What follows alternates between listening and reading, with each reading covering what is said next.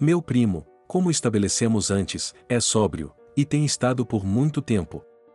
Ele é um cara que trabalha pesado, está desesperado por dinheiro, e tem uma boa van. Ele não inventa desculpas, e não é parado por carregar tralha que ele não pesou. Tudo isso quer dizer que meu primo é um cara muito procurado. E quer dizer que ele acaba aceitando um monte de trabalhos que precisam ser feitos de forma rápida, correta, e, por isso, trabalhos que pagam muito bem. Nossa segunda história começa com meu tio sendo chamado para fazer um desses trabalhos.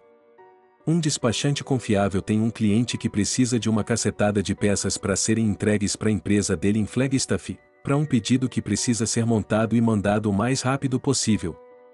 Eles precisam das peças já pro dia seguinte. O problema é que meu tio dirige uma Denver, e são 11 horas de viagem pesada por montanhas e deserto. E, para piorar, as peças são tecnicamente pesadas demais para a van dele. Só que o cliente está desesperado, e disposto a pagar uma boa quantia de dinheiro se as coisas chegarem lá na hora. Estou falando de 3 mil dólares para 11 horas de trabalho, e com gasolina paga. Então tudo certo. Meu primo. Foi mal, eu chamei ele de tio no último post. Eu sempre chamei ele de tio Bill, porque ele é muito mais velho que eu. Mas eu garanto que ele é meu primo, não meu tio. Meu primo encontra o despachante e eles enchem a van de tralha, mais cheia do que ela jamais esteve. Se um policial para ele, meu primo tá fudido. Ele começa a viagem bem cedo, depois de uma noite de descanso. A maior parte da viagem é normal.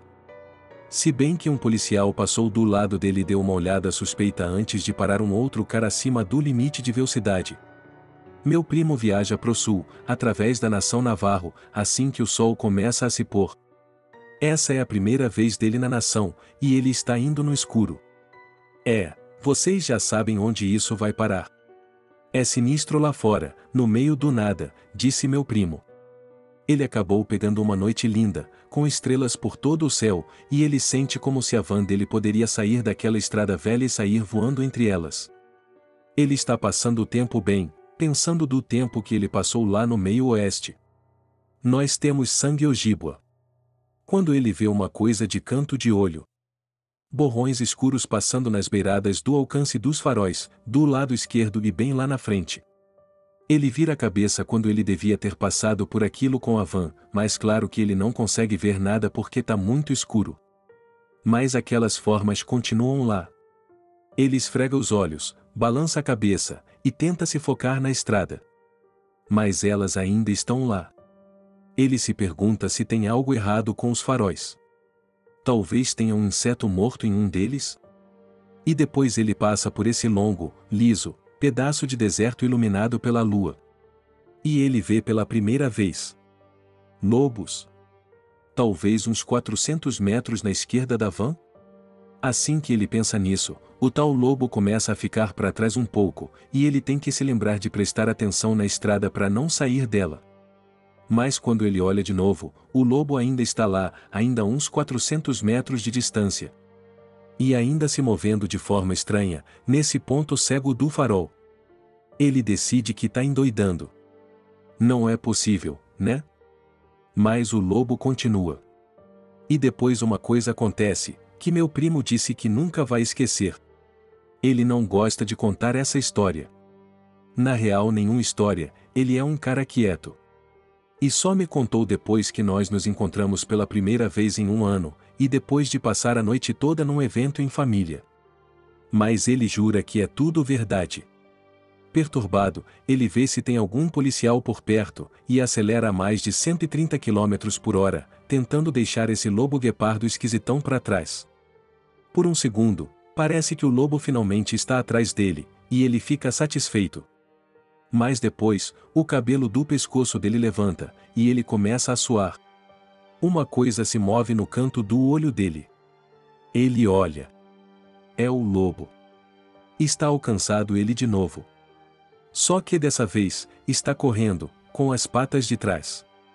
Meu primo dá uma olhada de novo, com os olhos pulando da cabeça, e mete o pé no acelerador. Então o lobo começa a perseguição. Ele está freneticamente olhando para trás e de volta pro velocímetro. O lobo está se aproximando, mesmo que meu primo ponha o pé no acelerador. Em pouco tempo, o lobo está correndo na beirada da estrada. Depois, devagar, começa a cruzar pro outro lado. Cerca de um quilômetro e meio depois, ele decide que vai fazer de tudo para atropelar o lobo, porque ele está em pânico cheio de adrenalina. Engolindo seco, suando tanto que as mãos escorregam do volante, respirando forte com a boca. O lobo continua a se aproximar. Finalmente, meu primo pisa no pedal do acelerador até o final, com tudo que ele tem. O motor rende, com dificuldade de aguentar a carga pesada. E dá uma virada em direção a ele. E, no instante antes de bater no lobo, batendo na buzina o mais alto possível. O lobo fica do lado da janela do motorista do meu primo. Eu nunca ouvi o Bill mentir antes. Isso é o que ele disse que aconteceu. Eu não sei no que acreditar. Aquilo pressiona o corpo contra a van e se estica, numa sombra negra. Eventualmente, ele jura que aquilo tomou uma forma humanoide, com feições faciais exageradas, pressionadas contra a janela. E quando bate, ele bate os seus grandes olhos, e dá um sorriso igual o do gato da Alice no País das Maravilhas na janela, tanto que embaça o lado de fora. Ele não consegue tirar os olhos daquilo. É o sorriso mais malicioso que ele já viu. Algo parece errado, frio, na própria essência dele. Depois disso, a coisa pula para longe, gritando com uma risada de furar o tímpano, e se agarrando numa rocha próxima, meu primo mal consegue respirar e vomita no banco do lado. E continua a viagem. A coisa continua atrás, gritando com risadas. Ele chega no final, ainda enjoado e com frio. E mal consegue olhar o cliente nos olhos. Ele tá cheirando a vômito, e conta a história pro cliente. Repetindo, o Bill é um cara muito quieto, ele devia estar perturbado para falar qualquer coisa disso para um estranho. O cliente está certo de que ele está bêbado, e meu primo nunca mais fez entregas para ele, nem dirigiu pela nação Navarro. Nunca mais. Pelos apelos de um dos empregados na oficina do cliente, o primo foi ver um curandeiro navarro, que passou penas nele e o deu uma bênção. Meu primo vomitou de novo, e aí se sentiu melhor. E essa é a história de como meu primo encontrou um Skinwalker.